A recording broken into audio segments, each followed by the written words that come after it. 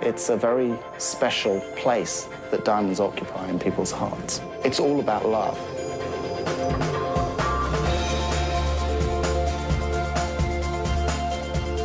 Diamonds are silent witnesses of history, and it connects you to humanity. It's not just mere beauty, it means purity. It means a divine light. I wish they never existed. I wish.